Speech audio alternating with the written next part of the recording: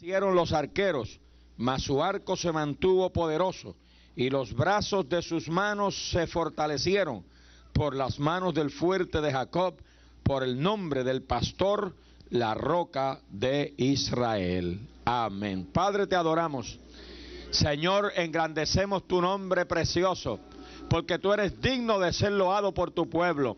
Te damos gracias por tu preciosa palabra.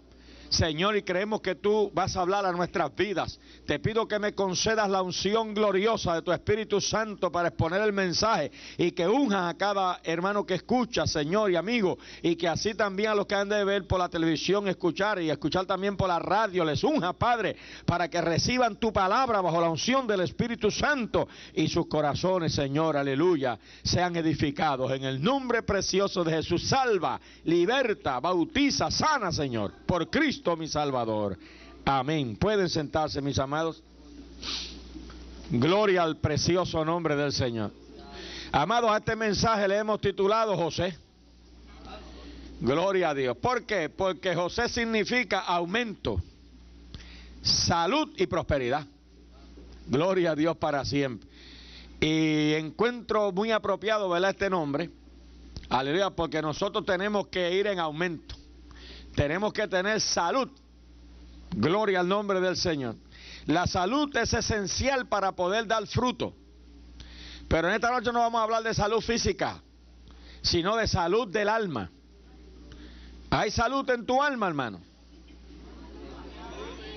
Pues si hay salud en tu alma, entonces debes de producir frutos. Alabado sea el nombre maravilloso del Señor. Aleluya. Y vamos a ver algunas cosas, hermano, en José, algunas características, alabado sea Dios, que es importante que nosotros también se produzcan estas cosas en nuestras vidas, todo. Y lo primero que vemos en José, mis amados, es su carácter. Gloria al nombre del Señor. Aquí dice de José, rama fructífera es José. Rama fructífera, no una rama seca. Alabado sea el nombre del Señor. Porque hay, hay ramas secas en las iglesias, hermano. Eh, no digo yo ramas, hay árboles secos. Dos veces cortados y desarraigados.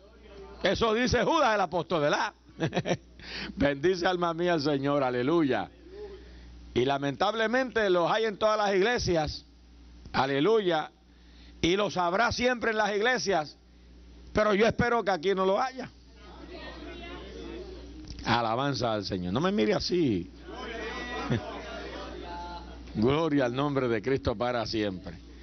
Pero Él es una rama fructífera, quiere decir que está lleno de savia como por el Espíritu. Y dice la palabra, en esto es glorificado mi Padre, en que llevéis mucho fruto. Juan 15, 8. O sea que Dios es glorificado en que nosotros llevemos mucho fruto. El Señor fue a buscar higos en una higuera que tenía hojas y debió tener higos, pero no tenía higos. Y el Señor la maldijo. Y cuando el Señor la maldijo, se secó. ¿Por qué se secan los árboles, hermano? Porque deja, deja de fluirle la savia. Y cuando el Señor le dijo, nunca jamás coma nadie fruto de ti, ¿usted sabe lo que pasó? Que el flujo de savia de la tierra a las raíces se detuvo por la palabra del Señor. Y se secó. Y cuando nosotros nos hacemos infructíferos, cuando nosotros no producimos los frutos de justicia que se espera encontrar en los creyentes, hermano, se detiene el flujo de la savia del Espíritu Santo y nos convertimos en ramas secas. Amén. Ah, pues ustedes están demasiado solemnes esta noche. A mí no me está gustando esto. Alabado el nombre maravilloso. No se preocupe, que si le cae algo del cielo, que no sea una rama, después que no sea una rama seca, de gloria a Dios. Bendito sea el nombre maravilloso del Señor para siempre. Si mi Padre es glorificado en esto, en que lleváis, en que llevéis mucho fruto. Y uno no empieza llevando mucho fruto, pero uno empieza llevando fruto. Y él dice que si llevamos fruto, dice, mi Padre descenderá y nos limpiará para que llevemos más fruto.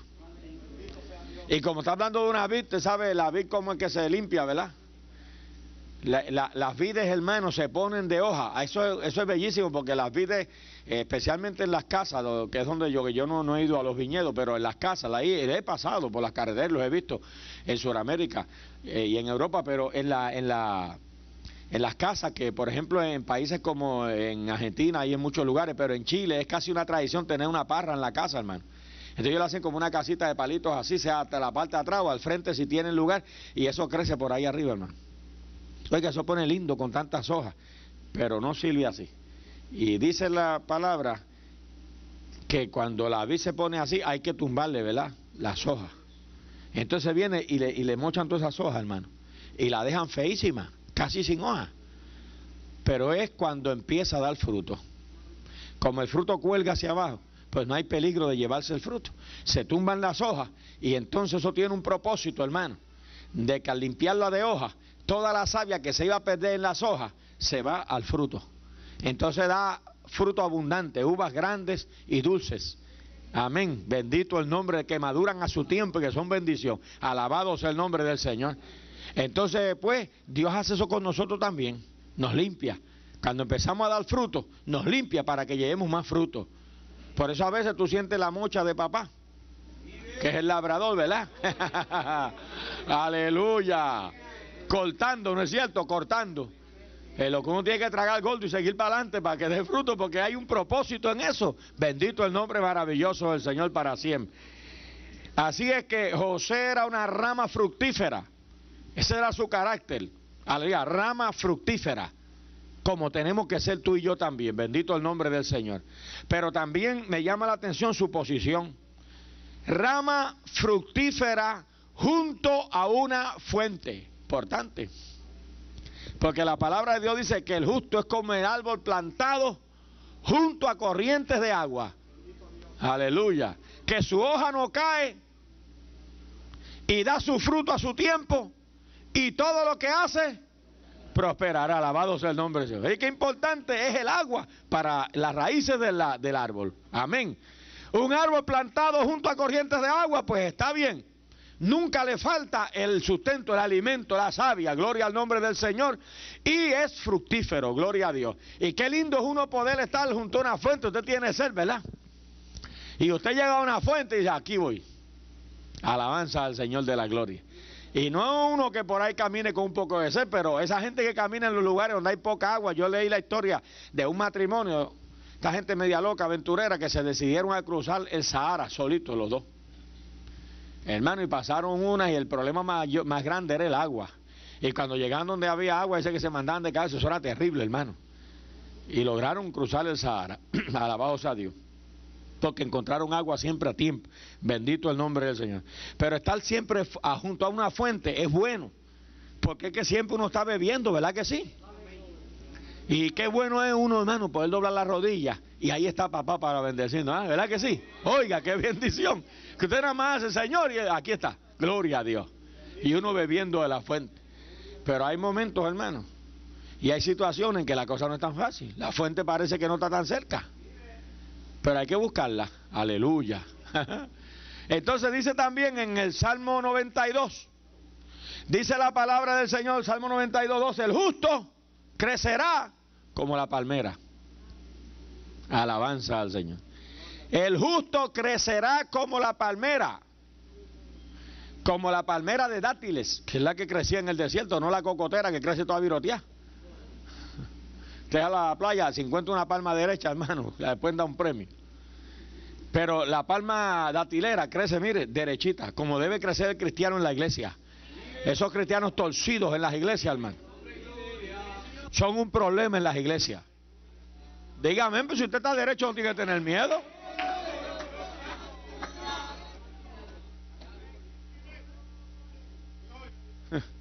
Ustedes están medio históricos esta noche. Alabanza al Señor de la Gloria. Derechita, hermano, pero derechita crece. Pero lo más importante es que crece. El justo como la palmera crecerá, la palmera crece. El cristiano tiene que crecer porque hay cristianos que no crecen, hermano. Hay cristianos que se quedan, eh, se quedan siempre enanos, espiritualmente hablando. Físicamente puede tener 6 pies 5 pulgadas, pero espiritualmente son unos pigmeos. Alabanza al Señor de la gloria. ¿Por qué no crecen? Porque no están, aleluya, bebiendo de la fuente. Porque no son ramas fructíferas junto a una fuente. Alabado sea Dios. Pero ya dije, la fuente no siempre está cerca. No siempre hay la bendición. No siempre hay la bendición, amados míos, de que, de que esa fuente esté cerca, como estaba José. Alabado el nombre del Señor. ¿Y sabe qué pasa, hermano? Que eso no es problema para la palmera, porque dice que el justo crecerá como la palmera, y la palmera crece, y en el lugar donde crece, hermano, en el desierto, donde no crece ni una brisna de hierba, hermano. Aleluya. Pero allí donde nada crece, crece la palmera. Bendito el Señor de gloria para siempre. ¿Por qué crece la palmera allí? Pues la palmera allí crece porque la palmera antes de brotar para arriba, crece hacia abajo. Y las raíces viajan bajo tierra, a veces kilómetros, hermano, hasta encontrar una fuente de agua subterránea. Y hay veces que cuando viene a brotar la palmita para arriba, ya tiene kilómetros de larga para abajo. Buscando, buscando, buscando agua. Alabado sea Dios. Cuando encuentra agua, empieza a alarla para arriba. Y entonces brota y crece alta, hermano, porque las palmeras la tierra crecen bien altas y derechitas. Con un corazón, porque el corazón, la parte adentro de, la, de, la, de la palmera tierra es blando. Y el creyente que no tiene un corazón blando, hermano. Porque el Señor, el Señor antes escribió las leyes en tablas de piedra. Pero ahora dice, ahora las escribiré en tablas de carne. Las escribiré en vuestras mentes y en vuestros corazones. Alabanza al Señor de la gloria. ¿ah? Y el salmista le dice, dame un corazón limpio. Que quiere decir, dame un corazón tierno, un corazón de carne que sienta por ti. El creyente tiene que tener corazón blando, hermano. Que hay creyentes que tiene, por corazón lo que tienen, hermano, es una, mire, es un granito. Por no decir que algunos lo que tienen es una araña pelúa.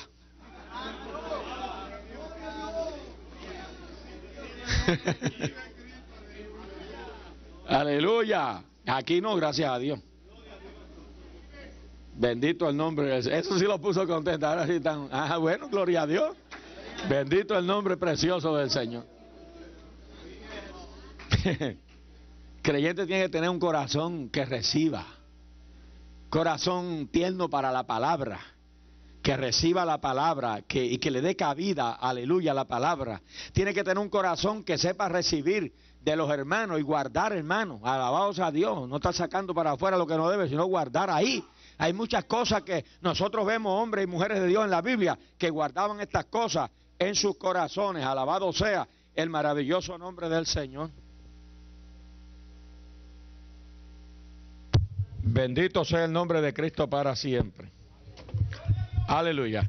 Guardaban estas cosas, hermano, en sus corazones, porque tenían corazones blandos como la palmera. Pero la palmera no es toda blanda. Tenía una corteza, la corteza era dura, dura, dura, que no le penetraba nada. Y así tenemos que ser nosotros. Por dentro blando para el Señor, pero duros por fuera para los, resistir los ataques del diablo. Ah, porque hay creyentes que son tan blandos por fuera que se le pega todo, pero todo lo malo, lo bueno no se le pega.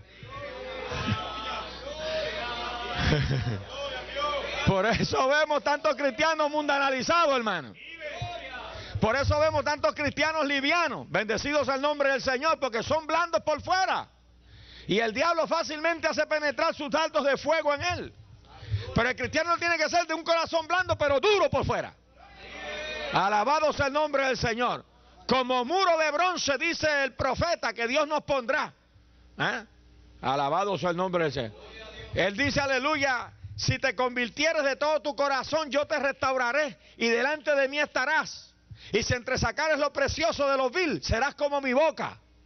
Aleluya. ¿eh? Pelearán contra ti y no te vencerán porque yo te pondré en este pueblo como muro de bronce fuerte, fortificado. Y pelearán pero no te vencerán. Alabanza al Señor. Así que el cristiano tiene que ser duro por fuera para hacer un dique de contención en contra del pecado. La Biblia dice que no, no, no, nos tenemos que deshacer de todo peso del pecado que nos asedia. El pecado siempre está al acecho del creyente, al acecho del cristiano. Satanás anda como león rugiente alrededor buscando a quien devorar.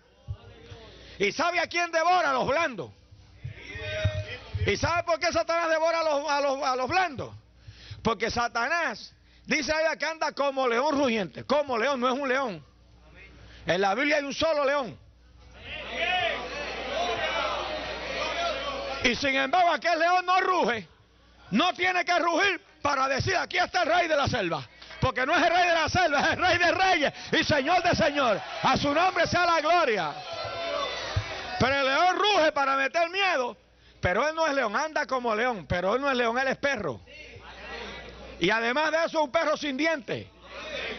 Porque de la patada que le dieron en el cielo tumbaron los dientes. Por eso se come nada más que a los cristianos blandos. Alabado sea el nombre del Señor. pero él no puede masticar a los cristianos que crecen como la palmera, que tienen el corazón blando, pero por fuera duros como el acero. Alabado el nombre maravilloso del Señor. Firmes como la roca. Sea Dios glorificado para siempre. Aleluya, que no los mueve todo viento de doctrina, que están firmes en lo que han creído. Hoy hay mucha gente dejándose mover, hermano. Y como hay tanto predicador blando también. Y blandengue también. Mimando el pecado.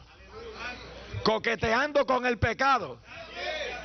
No condenando el pecado para que la gente le manden buenas ofrendas. Hay seis siervos de Dios que ya no predican duro contra el pecado porque sabe que se aflojan las ofrendas de los malos, de los cristianos blandos y malos. Y hay predicadores que están interesados en las ofrendas de los santos y en las ofrendas de los diablos también. Entonces, para no ofender a los diablos, son blandengues con el mensaje ahora para que los malos les manden las ofrendas también. Una vez yo tenía un programa en una emisora que no hay que mencionarla. Y, nosotros predicamos una serie de mensajes. Yo salía de viaje para dar clase en Venezuela precisamente. Iba a estar mes y medio enseñando allí. Y preparé una serie de mensajes y los dejé adelantados. El segundo, pues aquello, mire, aquello cuando yo estaba predicando, el Espíritu me llenó, aquello era, aquello era terrible contra el pecado. Pues me detuvieron los programas. Y cuando yo vine y le reclamé a, mi amigo, que era el director, era un amigo y es amigo mío. Y le dije, pero venga, ¿qué es esto? ¿Cómo tú te atreves y ustedes se atreven a suspender un programa que aquí se paga adelantado? Y que yo salí por mes y medio y lo dejé pago adelantado. ¿Y cómo ustedes se atreven? No, Muñoz, lo que pasa es que tú sabes que tú dices allí unas cosas. Y ¿qué cosas digo? La palabra de Dios. ¿Tú lo oíste? Sí, pero yo sé que es la palabra, pero es muy duro. Porque, pues, bueno, pero es que la palabra es dura y tú sabes que es dura. ¿O es que ustedes cambiaron? No, Muñoz, te pongas así, pero es que mira, tú sabes lo que pasa, que a nosotros nos mandan ofrendas los carismáticos, los católicos. Y, ah, ese es tu problema. es, es asunto de venderle el mensaje a los pecadores. No, Muñoz, no es eso, pero, bueno, no es eso, ¿y qué?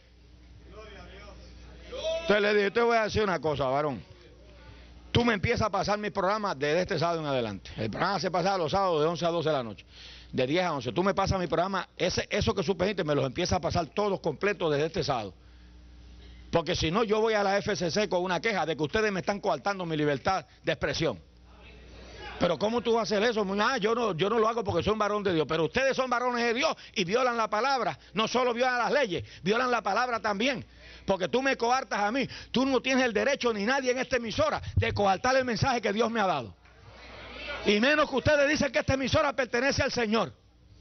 Así que me pasa los programas en el nombre de Jesús, que están pagos ya. ¿Sabes lo que me dijo? Yo voy a renunciar de aquí. Yo dije, lo mejor que hace porque si no te corrompes aquí. Alabado sea el nombre del Señor. Antes del mes renunció, gracias a Dios por eso. Porque es un siervo de Dios. Pero es que se meten a ciertos trabajos que las presiones de los impíos Hermano, porque es que se meten impíos en todos esos lugares, usted sabe. Y entonces empiezan a presionar y a presionar. Y empiezan a, darle media vuelta a la cosa y a tratar de agradar a Dios y agradar al diablo. Es como que va en el bote y pierde los remos y oye el ruido de la catarata. Y sabe que se va a caer, se va a matar. Y para no fallar, por si acaso no hay Dios, dice, buen Dios, sálvame. Buen diablo, sálvame. Bendito el nombre del Señor para siempre. Y así no se puede con esa ambigüedad. La Biblia dice que el que a Dios se acerca, necesario es que crea que le hay y que es galardonador de los que le buscan. A su nombre sea la gloria. Amén, hermano. Bendito el nombre del Señor. Entonces la palmera no solamente crece alta, crece en el desierto. Crece alta con el corazón blando y la coraza dura, sino que también florece en el desierto. Y da frutos en el desierto. Alabanza al Señor de la gloria. Y nosotros estamos, espiritualmente hablando, estamos en un desierto, hermano. Este país se ha convertido en un desierto espiritual. Ya los siervos de Dios no llevan a la iglesia, sino ahora la llevan a la política y la llevan a todas las cosas que no tienen que ver nada con la palabra. Y Dios está levantando otros siervos de Dios en distintos lugares de Puerto Rico para levantarse y hablar en contra de la política en las iglesias, hermano, porque ese es el cáncer que el diablo ha metido en el corazón de muchos obreros, de muchos siervos de Dios, de meter la sucia política dentro de la iglesia de Cristo. Y nosotros lo condenamos sin que nos quede nada por dentro. En el nombre de Jesús de Nazaret, con la autoridad que Dios nos ha conferido, por el poder del Espíritu Santo, condenamos esa práctica. Alabado sea el nombre del Señor, de llevarle política a la iglesia, porque eso está fuera de la palabra. Alabado. No importa quién lo haga, está fuera de la palabra. Aleluya. Y es una desobediencia a Dios. Eso es traspasar los linderos de Dios. Eso es desafiar al Espíritu Santo. Eso es hacer enojar al Espíritu de Dios. Y cuando el Espíritu de Dios se enoja, después que nos ha hecho bien, se vuelve enemigo. Anda. Gloria al nombre del Señor. Lo dice Isaías, hicieron enojar mi Santo Espíritu. Y él se volverá su enemigo y peleará contra ellos. Qué triste es que después que hemos sido usados por el Espíritu Santo, que el Espíritu Santo tenga que volverse nuestro enemigo y pelear contra nosotros, porque ahí no podemos ganar. Oh, gloria al nombre precioso del Señor, aleluya. Oh, gloria al nombre maravilloso del Señor. Pero la palmera florece. Y es justo crecerá y florecerá como la palmera. Y cuando florece, ¿sabes lo que pasa? Que como, que como deja caer los higos. Y entonces los higos caen ahí y ahí nacen otras palmeras que empiezan a buscar para abajo primero. Y cuando hayan el agua empiezan a alarla. Porque ninguna palmera puede dar agua para la otra. Hay cristianos que tu hermano ora por mí. Varón, ora por mí que tengo un problema. Y entonces el varón allá, Señor, mira el maestro que tiene este. Y el maestro con el problema. Mire, perdone, pero eso se lo convertirse en un parásito espiritualmente hablando. Usted tiene un problema, mande rodillas. ¿Y para qué Dios le dio dos rodillas? No dependa de la rodilla ajena, dependa de la suya. Está bien, pida la oración de los santos, pero mande usted oración también. Alabado sea el Señor de la gloria para siempre. y cada palmera crece para abajo y encuentra corriente y empiezan a dar agua, hermano. Y a dar agua y crecen. Y ya se forman, mire, varias palmeras. ¿Y sabe qué pasa? Todas esas palmeras dando agua, hermano no traen solo agua para ellas, sino que forman un oasis. Entonces, en medio del desierto donde no había vida, ahora hay sombra, comida, agua, aleluya, descanso, hermano. Eso se forma, mire ahí, aleluya, porque creció una palmera. Y donde va un cristiano verdadero no se queda nunca solo. Porque es que el cristiano no puede callar lo que el Señor ha hecho. Empieza a hablarle a otro, ya son dos palmeritas. Y aquel otro está ahí, tres y cuatro, gloria al nombre del Señor. Y cuando viene a ver, empiezan a la agua y se forma una fuente ahí, una iglesia, alabado sea el nombre maravilloso del Señor, aleluya. Porque es que no podemos callar, tenemos que fructificar. Bendecido sea Cristo. Ese era José, hermano. José, aleluya, era una rama fructífera junto a la fuente. Las raíces encuentran un lugar de plenitud y allí permanecen. La Biblia dice, aleluya, afirmados y enraizados en Él. Tenemos que echar raíces alrededor de Cristo. Y atraparlo, por así decirlo. Ay, qué lindo atrapar a Cristo y no dejarlo ir. Aleluya. Bendito sea su nombre. Tener a Cristo, mire, envuelto en nuestras raíces. Cada vez que usted ora y busca su rostro, le mete las raíces por donde quiera y lo atrae. Alabanza al Señor. Lo tiene usted a Cristo atrapado en usted. Aleluya. Es Cristo en vosotros la esperanza de gloria. Bendice alma mía Jehová. No vaya a ser aleluya como hizo aquel pueblo malo. Alabado a aquel pueblo desagradecido que tuvo que Dios decirle a través del profeta Jeremías, dos males ha hecho este pueblo. Me dejaron a mí fuente de agua de vida y cavaron para sí cisternas, cisternas rotas que no retienen agua. Alabanza al Señor de la gloria para siempre. Aleluya. Bendito el nombre del Señor. Plantado junto a corrientes de agua. Gloria a Dios. Así que el agua no siempre está cerca, pero hay que buscarla, hermano. Pero siempre está dispuesta. Y Dios es, experto dando agua donde no hay, hermano. Pero hay que buscarla y pedirle a Él. Sansón estaba, mire, muriéndose de sed. Y se paró allí junto a la, a la, a roca de Lejí. Y sabe lo que dijo allí, Señor, me muero de sed. Dijo, ¿qué vas a morirte? Nada. Y Dios abrió la roca en Lejí y le dio agua. Y él bebió agua y dice que fue fortalecido nuevamente. Gloria al nombre del Señor. El pueblo en el desierto, hermano. Dios le dijo a Moisés, golpea la roca con, el, con la vara que tiene, la golpeó y la roca en Oreb dio agua. Y no dio agua para que bebieran el pueblo mientras estaban allí. Dice que esa agua siguió al pueblo por 40 años en sus peregrinajes en el desierto. Aleluya. Amén. Porque la arena tragó esa agua y esa agua siguió brotando y en forma de río subterráneo siguió aquel pueblo por donde quiera que aquel pueblo iba. Porque cuando Dios hace un milagro en ti, Dios lo hace permanente para todos los años de tu peregrinaje. Dios ha hecho ese milagro. Amén. Lo de Dios permanece. Alabado sea el nombre del Señor. El Señor salvó tu vida y te transformó. Y eso es para siempre, hermano. Mientras tú bebas de esa fuente, alabado sea Dios, tú tienes vida. Aleluya en ti. Bendito sea su nombre. Es mentira del diablo que tú vas a caer de la gracia. Es mentira del diablo que cae cualquiera. Aleluya. Hay poder en Cristo para sostenernos sin caída. Aunque seamos débiles, hay poder en el Señor. Poderoso es el Señor que nos llamó para sostenernos sin caída. Nombre sea la gloria y la honra para siempre. Y no solo para sostenernos sin caída, hay poder en Dios para sostenernos viviendo en santidad, para que podamos guardar su palabra, para que en estos días malos no neguemos su nombre. Alabado sea el Señor de la gloria. Hay poder en Cristo para vivir conforme a la palabra. Hay poder en Cristo para guardar sus mandamientos. Alabado sea el nombre del Señor. Ora, Aleluya. Pero hay que mantenerse bebiendo de la fuente. Aleluya. Jesús lo dijo. Si alguno tiene sed, venga a mi beba. Y el que bebe del agua que yo le daré no tendrá sed jamás, le dijo a la mujer samaritana. Oh, gloria al nombre maravilloso del Señor, aleluya. Entonces también José, me llama la atención su utilidad. José fue un hombre útil. Dice, sus vástagos y dice aquí, sus vástagos se extendieron, se extienden sobre el muro. Oiga, hermano. ¿Sabe que los muros rodeaban las ciudades? Para que nadie entrara, que no era bienvenido ahí. Pero también los muros impedían que la gente saliera. Pero hermano dice que José, como estaba junto a la fuente, pues dice que sus vástagos, hermano, mire, iban sobre el muro para darle bendición a los que estaban afuera. Alabado el nombre del Señor.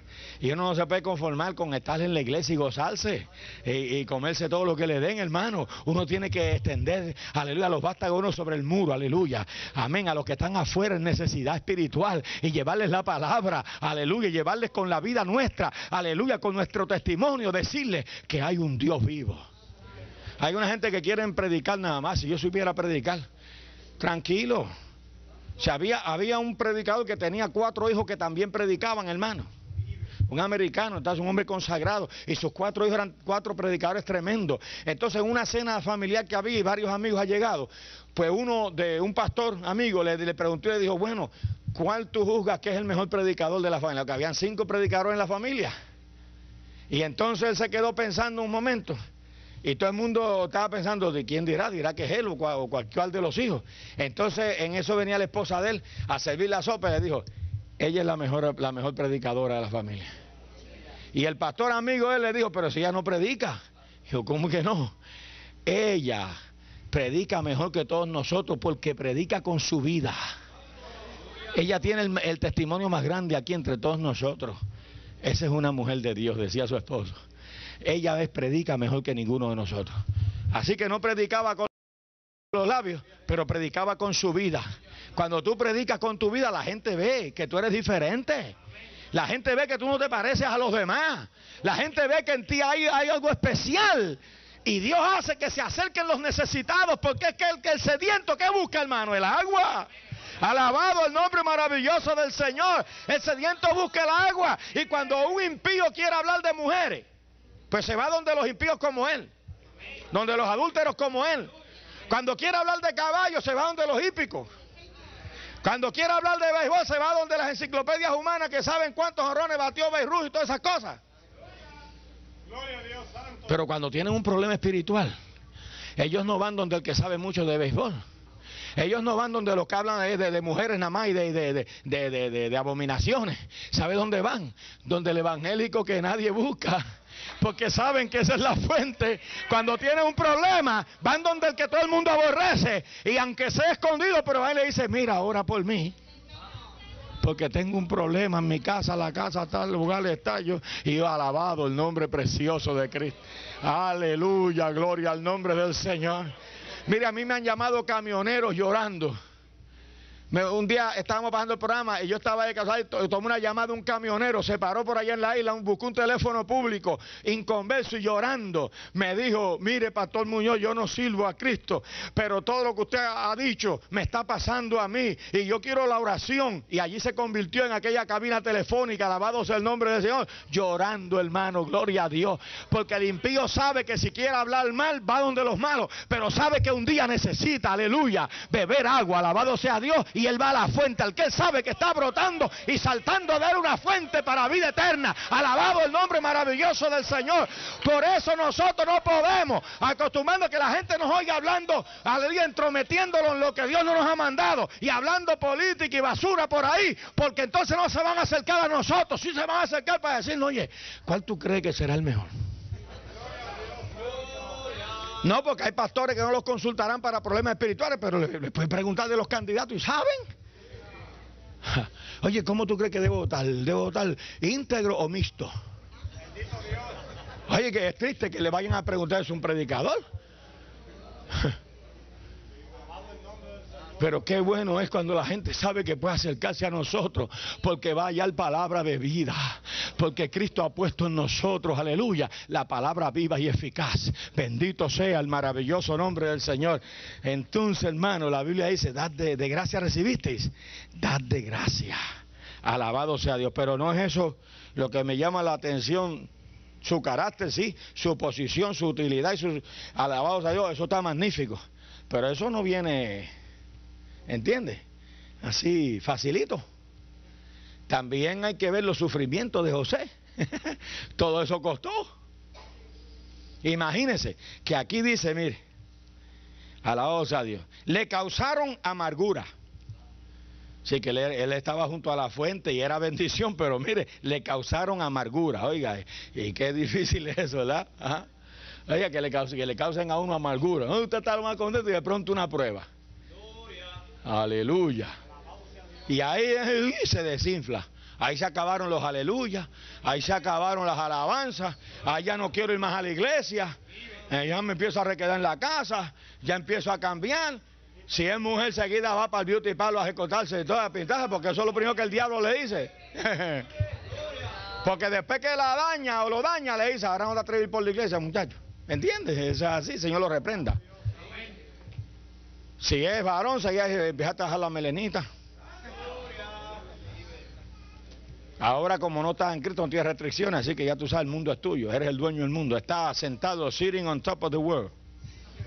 Santo. Perdónenme lo que sabe inglés aquí. Alabado sea el nombre inglés hay de campo, usted sabe. De patio, de patio más bien, gloria a Dios. Qué triste, ¿verdad?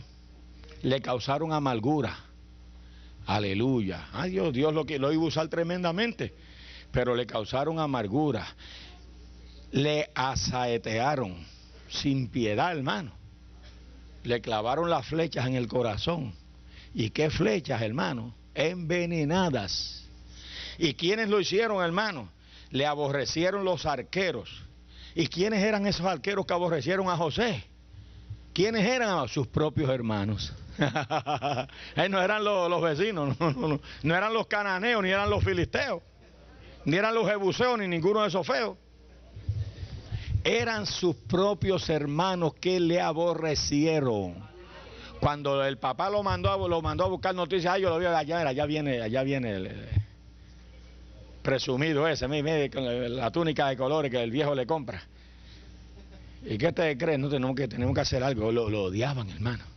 Le tenían odio, ¿sabe por qué? Porque él, él, él era un soñador. Pero no, no sueños de arroz y de rice and beans. No, no. No de esos sueños que, mire hermano, yo le voy a decir a la gente que ve muchas cosas, a mí me llaman mucho para darme mensajes. En estos días me llamó un hermano y me dejó el teléfono para que yo le diga que tiene un mensaje para mí, pero yo no llamo, ¿sabes por qué? Porque hay tanta gente que llama para darme mensajes. Que si yo voy a hacer caso a todos los mensajes que me dan de parte del Señor, me vuelven loco. Porque unos me dicen una cosa y otros otra. Varón, quédate ahí donde está, varón, sal. Entonces yo no puedo, yo no puedo ser ubicuo, usted sabe. Yo puedo estar en un solo sitio a la vez. Entonces yo decido, ¿verdad? Que cuando Dios quiera decirme algo, pues sí, aquí estoy. Yo nunca, mi corazón nunca se ha endurecido para la voz de Dios. Y le pido a Dios que así sea siempre. Y siempre que Dios ha querido algo con mi vida, pues me lo dice. Aleluya.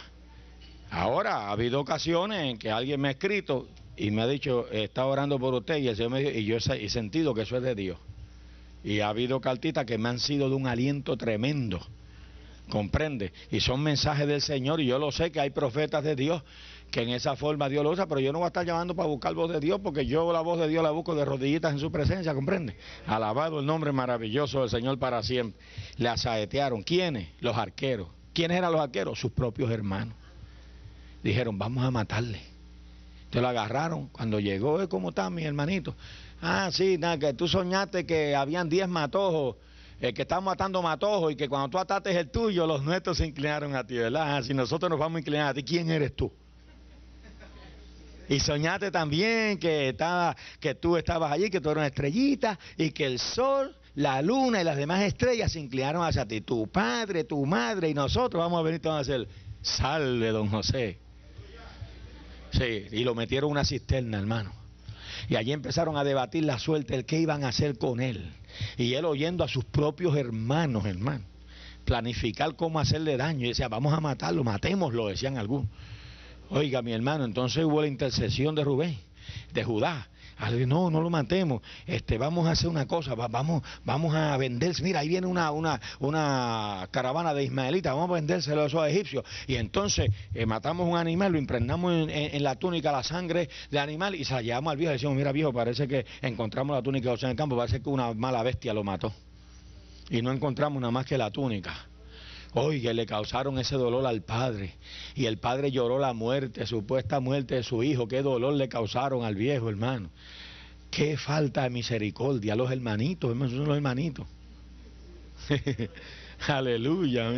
Son los que, los, los que cargan Biblia y predican la palabra. Esos son los, esos son los que esos son los que mi hermano con, con, flechas envenenadas.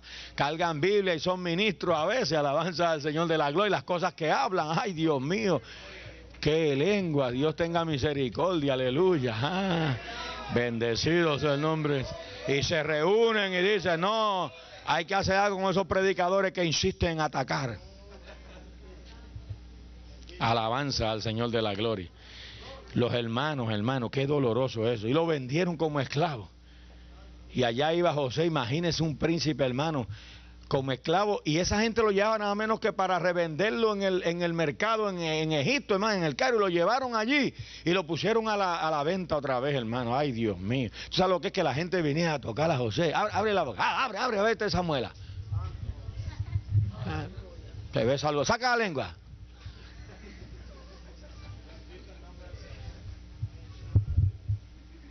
Bien, te voy a dar tanto por él, pues llévatelo. Si yo lo compré casi regalado. Qué tremendo, hermano. Oiga, si le hacen eso a, otro José que yo conozco, de apellido Muñoz, pero no el que nos visita, sino este. Oiga, tal vez, tal vez esa amargura, tal vez el Señor reprenda al diablo. Soy el diablo, hermanos míos. No quiero saber de ellos. Yo renuncio a. José, nada. Nunca se manifestó en contra de su hermano. Nunca le habló mal a un egipcio de su hermano. Y nunca le dijo, mira, yo no soy esclavo, yo soy un príncipe, va que mis hermanos son unos impíos. Nada. Hermano, allí estaba como esclavo en la casa de aquel egipcio y se dedicó a trabajar bien. Aunque era un príncipe, hermano, y ahora tenía que hacer labores de esclavo. Sin embargo, lo hizo tan bien. Y, Dios lo bendijo de tal manera que aquel hombre dijo, este hombre, yo me he sacado la lotería con este hombre. Oye, pero esto es un hombre. Entonces empezó a darle más y más responsabilidad hasta que le dijo, mira, esta casa tú haces lo que tú quieras aquí. Menos mi mujer, todo lo demás te pertenece aquí. Tú administras todo aquí, ¿sí, Señor? Y ahí estaba José, imagínense, ya por lo menos sobre una bendición, porque ahora de esclavo, ahora era administrador. Pero cuando seguro está diciendo, ay, gracias papá, que yo sabía que la bendición venía, ahí viene y se enamora la mujer de Potifar de él. El diablo le dijo, no te, no te contento que te falta, te falta. Y a veces que salimos una prueba, gloria a Dios, Señor, líbrame, líbrame que viene la otra, prepárate. Que es que esto cuesta, mi hermano y esto, si estás bebiendo de la fuente, porque si está seco, si era una rama seca ya, ya no hay, ya, ya, ya ahorita te entra polilla y te, y te, y te desgaja. Pero si estás bebiendo de la fuente, si estás buscando el rostro de Dios, si estás en obediencia al Señor, entonces el diablo te está preparando. Bendito sea el nombre de Cristo. Ay, pero ¿y por qué Dios deja que el diablo prepare y bregue así? Ah, porque Dios te va a usar. Dios quiere usarte. Pero no eres, no, está, no, eres un árbol que da fruto.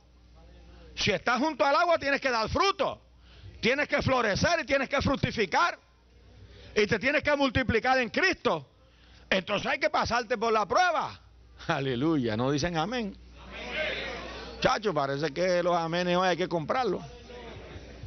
Alabanza al Señor. Ahorita sí, cuando estamos, estamos junto a la fuente bebiendo, qué bendición. Pero ahora esclavo, yo, ay Dios. Gloria a Jesucristo. Y mire, y esa mujer todos los días duerme conmigo. Y tienes que escotarte conmigo. Aquí yo soy tu, tu ama. Tienes que hacer lo que yo diga. No, señora. Y no sé, hasta que un día lo mandó a todo el mundo fuera. Ahora, hoy llegó el día. Y entonces como él no quiso, le dije, mire, aquí mi amo no me ha negado nada, lo puso todo en mis manos, excepto tú que eres su mujer.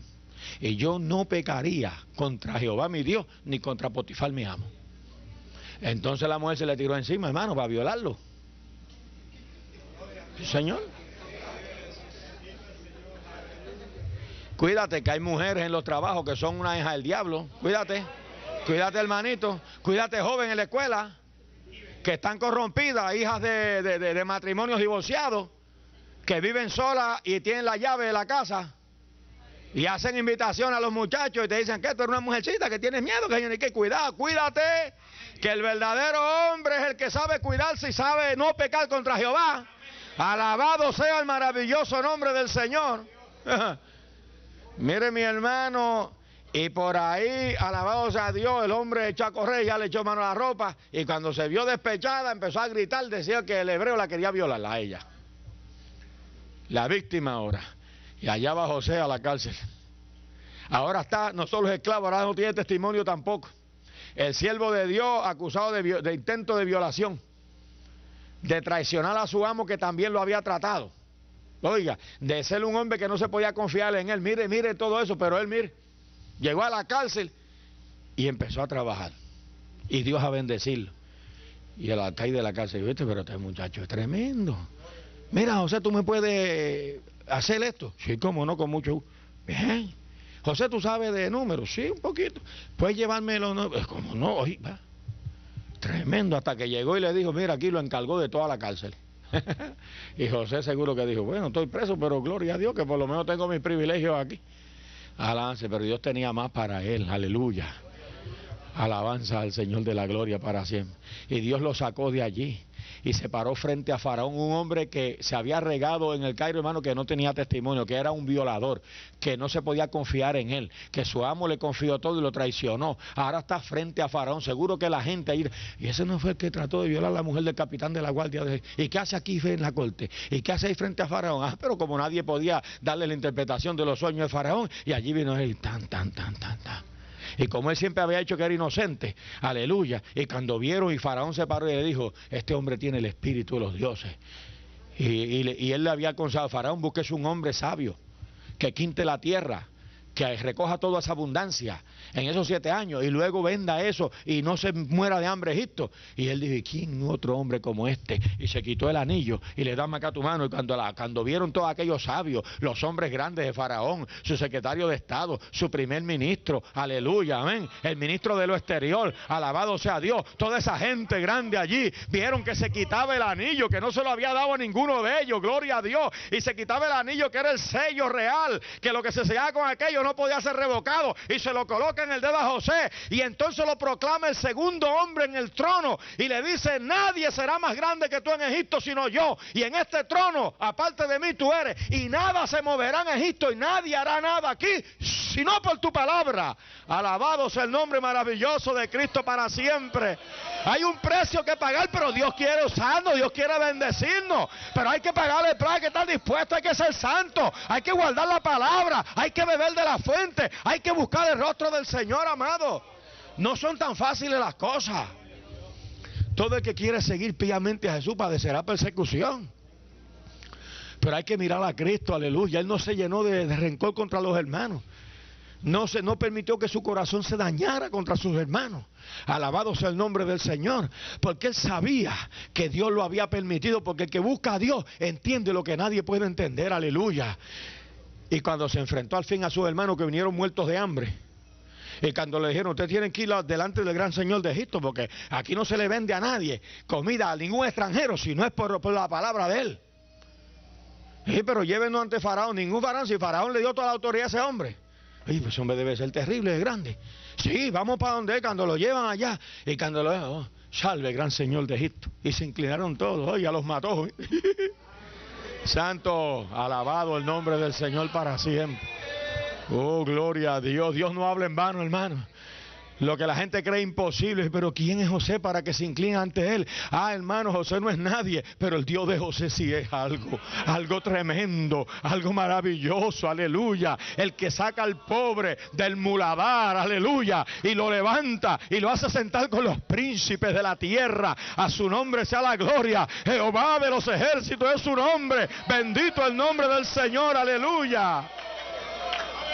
Cuando al fin se dio a conocer a sus hermanos, ay Dios mío, le pasó como a los que iban a aprender el Egipto, cayeron para atrás, hermano. Del susto, ahora sí que nos mata este. Y él, y empezaron a balbucear cosas, le dijo, no os pese haberme vendido acá porque no fuisteis vosotros, sino que Jehová me envió delante de vosotros para preservación de vida de la nación. Alabado sea Dios. Y los abrazó y los besó y los invitó a su mesa. Bendito sea el maravilloso nombre del Señor. Y les preguntó, ¿vive mi padre? Aleluya. Sí, el anciano está vivo. Tráiganlo. Alabado sea Dios. Cuando faraón que está tan agradecido se, dio cuenta que habían llegado los hermanos de él y que se estaban muriendo de hambre, dijo, tráete a tu padre, que se traiga todo lo que tiene, que venga con sus ovejas esto que ellos aborrecían a los ovejeros a los pastores de ovejas, que se traigan a sus ovejas y dale lo mejor de la tierra de Egipto. Gosén, hermano, era un paraíso en Egipto, era la tierra mejor. Dale lo mejor de la tierra a tu familia, alabanza al Señor. Y vamos a mandar carros nuevos para traerles, aleluya. Y vamos a mandar al ejército para que les escorte, gloria al nombre del Señor. Y cuando llegó Jacob, que estaba medio muerto de hambre, como aunque tenía hambre era más grande que Faraón, bendijo Jacob a Faraón. Aleluya, bendito Jehová te bendiga, le dijo, porque el más grande bendice al más pequeño. Alabanza al Señor de la gloria. Y José fue engrandecido y salvó la posteridad de él porque estuvo dispuesto a pagarle el precio.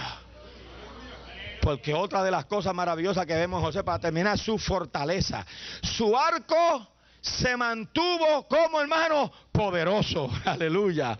Aunque sufrió todo eso, su arco se mantuvo poderoso. Y los brazos de su mano se fortalecieron pero se fortalecieron no con su fuerza, por las manos del fuerte de Jacob, por el nombre del pastor, la roca de Israel. Alabado el nombre maravilloso de Cristo para siempre. ¿Y quién es el que te fortalece a ti, hermano?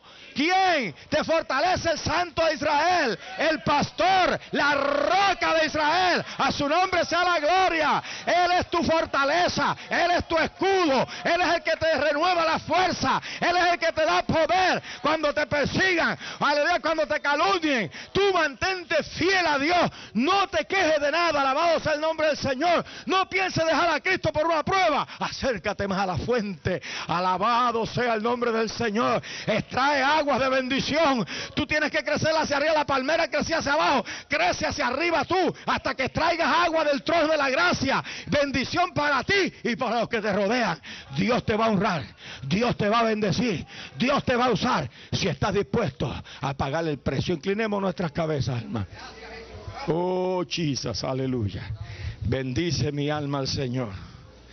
Alma mía, bendice a Jehová, aleluya. Señor, gracias te damos por tu preciosa palabra. Dios mío, en esta noche hay vidas que te necesitan. Hay vidas que se están secando espiritualmente y necesitan, Dios mío, ser plantados junto a la fuente. Dios, hay almas confusas que no saben, que no entienden los planes tuyos, Señor, que interpretan o que, aleluya, llevan su vida adelante por medio de las circunstancias y se dejan llevar por las circunstancias que son cambiantes.